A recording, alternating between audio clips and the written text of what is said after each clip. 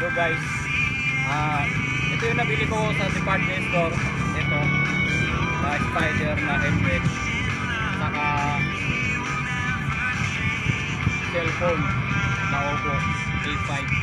Pero muna natin ano, buksan itong spider na helmet.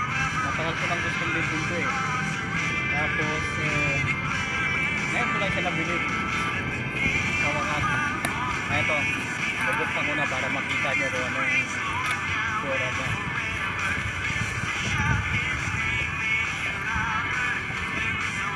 Na. Oh, ganda. Ganda, Jer. Praise the Lord. Ito siya. Kita?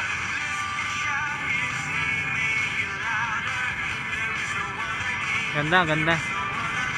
Ang price niya ay 4,299.75. Dati, nakita ko na ito dati. Ang halaga nito sa mga 5,600. Parang bumaba yung price niya. Siguro dahil sa tubig. Maaari. Ah, ayun, maganda siya. Bagay na bagay sa motor ko. Tapos, meron siyang, bumili rin ako ng gloves. Ah, ano bang price nito? 500. Papakita ko sa inyo ah, kung paano ano ah. So, ganito siya. Kagandahan nito, nakaka-touch siya ng cellphone. Ito. Kaya hindi mo na kailangan na putulin dito isa-isa. Kasi ito, nakaka-touch siya ng isang cellphone ko.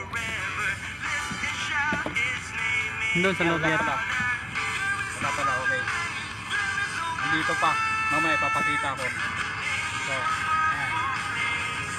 Maganda siya kasi pwede siyang mag-touch ng ng cellphone. Hindi mo na kailangan tanggalin yung glass. Yes. Glass, yung helmet na malupin. Diba?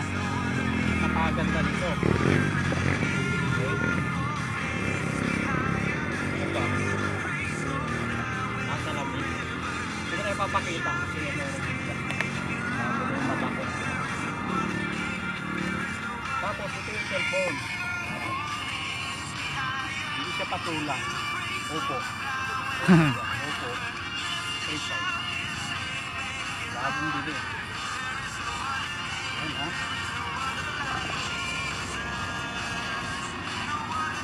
Yan. So, ang laman niya, ito na ang charger. Ay, cord niya. Ito, cord. Naghanap kayo ng headset, walang headset. Raw kasali. Kailangan raw bumili ako ng headset. Ito siya. Ang halaga nito ay nasa 9,000. 1,000.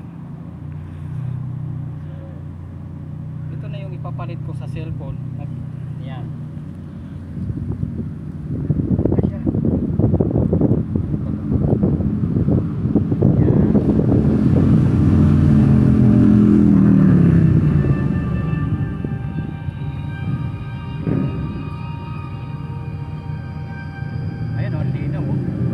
malinaw nga eh.